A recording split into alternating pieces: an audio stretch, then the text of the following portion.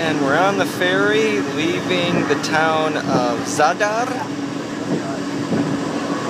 And we're going across to the island of Ugljan and the town of Preko. You can see the bridge there. The guy was driving the boat from that bridge a moment ago. Don't know where he went. Obviously a different place.